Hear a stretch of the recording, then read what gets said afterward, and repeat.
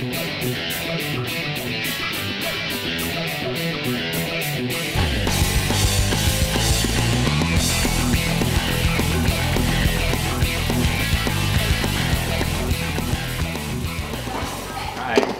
I'm Nigel Topnails, head referee of the Dominion Derby Girls here, I'm Molly Shipwreck, the lead founder.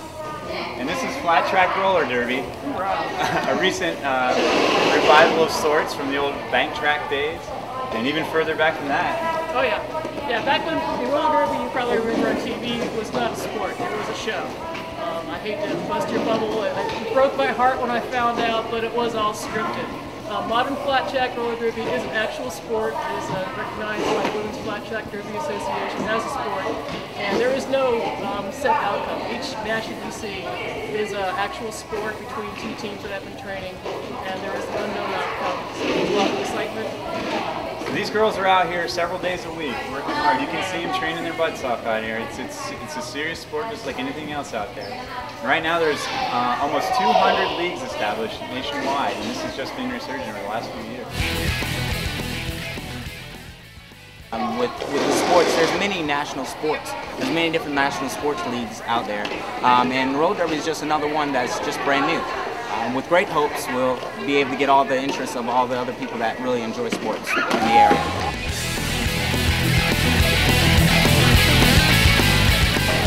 Hi, I'm Haley Hawkeye. This I'm- is my buddy. I'm Hacksaw Ken Duggan.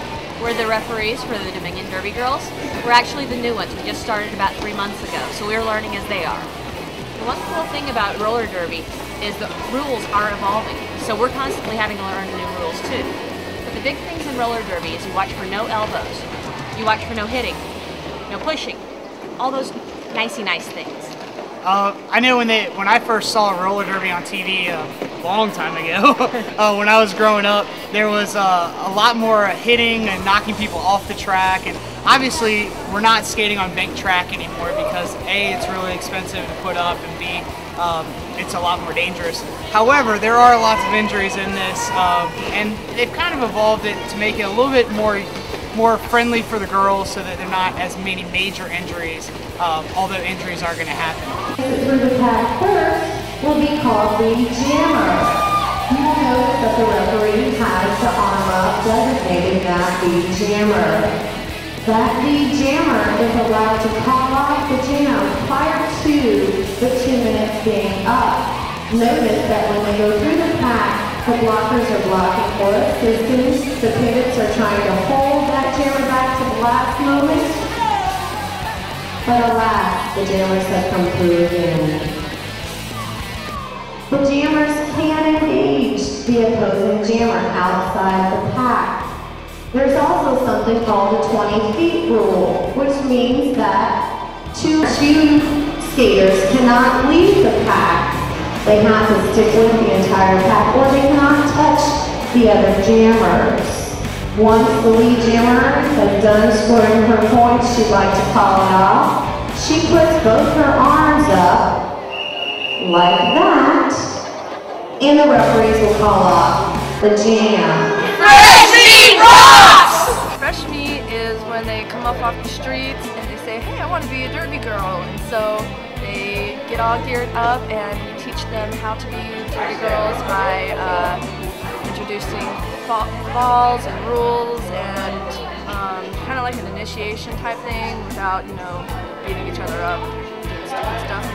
But um, once they pass their evaluations, then they're called um, rotten meat.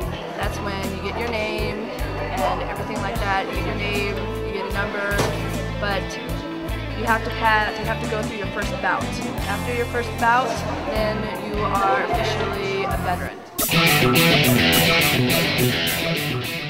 I just thought Cutthroat Casey sounded like somebody that would be in a band or like some kind of like sludgy death metal band. So I'm, I'm not cutthroat at all. I'm like the nicest person ever, but I hope to live up to my name someday. Um, I'm from Panama City. Um, I surf. I'm constantly at the beach. My family is lifelong um, so we were always doing a lot of, you know, swimming for seven years. So beach is kind of where my background is. I'm Pachuca Loca. Basically, I'm a hard-hitting blocker. I am in the back. and my job is to take the jammer from the other team out by all means possible. I'll come across the track and I will hit a girl clean into the crowd. And us on the on the track and I'm gonna take you out. If you get in my way, I'm gonna take you out. And that's what I'm that's what I'm here to do, that's my job. And I'm gonna get my jammer through the pack and you're gonna be dust.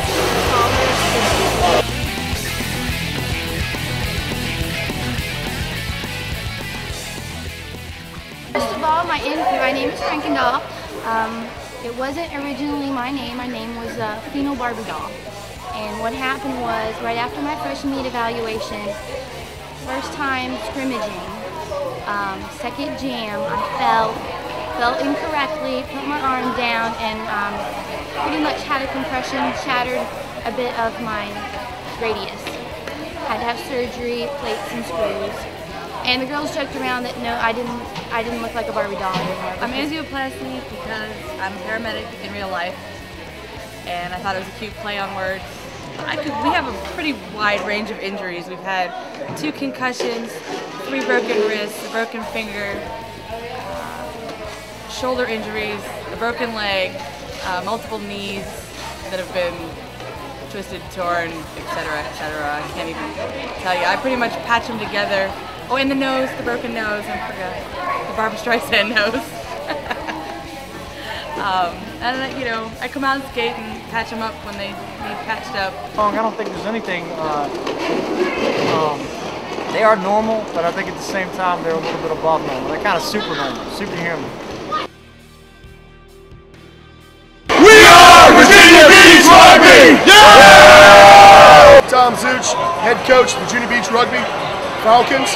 We support the Roller Girls, great group of girls. Met them uh, at the uh, Polar Plunge. Support the kids, good times, great women. Jam of this period, ladies and gentlemen.